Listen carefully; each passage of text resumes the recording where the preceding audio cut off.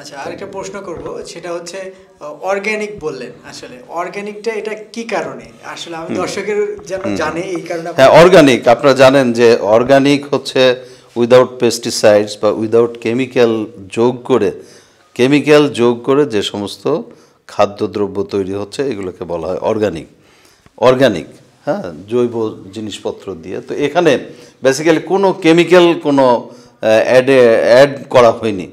Carbon, nitrogen, oxygen, hydrogen সব কিছুর রেশিওগুলো কিন্তু এখানে মেনটেন করা হচ্ছে। এবং যে, যেটা চাষ করা হচ্ছে, সেটাও আরেকটা অর্গানিক জিনিস কিন্তু চাষ করা হচ্ছে, সেটা তো ব্যাকটেরিয়া ব্যাকটেরিয়া দেওয়া হচ্ছে, মাছ চাষ করা হচ্ছে, দুইটাই অর্গানিক তো এইটা আসলে অনেকেই বুঝবে না, কিন্তু এইটা, এই সাবজেক্টটা আসলে খুব সূক্ষ্ম সাবজেক্ট এবং এটা অনেক প্যারামিটার আছে, সেগুলোকে মেনটেন করতে হবে। কাজে এটার জন্য ট্রেনিং দরকার। উইদাউট ইউটিউব বা কোনো জায়গায় গিয়ে হঠাৎ করে কেউ যদি এটা চাষ করা শুরু করে তাহলে মারাত্মকভাবে ক্ষতিগ্রস্ত হবে এতে কোনো সন্দেহ নেই।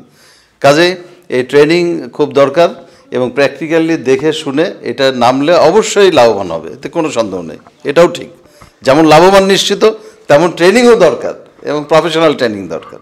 আচ্ছা দর্শকের উদ্দেশ্যে কি বলবেন? হ্যাঁ দর্শকদের উদ্দেশ্যে আমি বলব যে আমাদের দেশে ব্যাপক প্রচ্ছন্ন বেকার আছে। প্রচ্ছন্ন বেকার মানে হিডেন লেবার যেগুলো হচ্ছে সারপ্লাস লেবার আছে প্রচ্ছন্নভাবে। যেমন একটা ফ্যামিলিতে পাঁচটা মেয়ে আছে, তাদের বিয়ে হয়নি, তারাও কিন্তু কি করে? ফেসবুক দেখতেছে বা ইউটিউব দেখতেছে বা টেলিভিশন দেখতেছে হ্যাঁ? হাউস ওয়াইফরা সবাই টেলিভিশন দেখতেছে স্টার জলসা ইত্যাদি ইত্যাদি দেখে ব্যস্ত আছে। তাহলে এই লট অফ বেকার আমাদের দেশে কিন্তু আছে। বাট এটা কেউ বুঝতে পারছে না।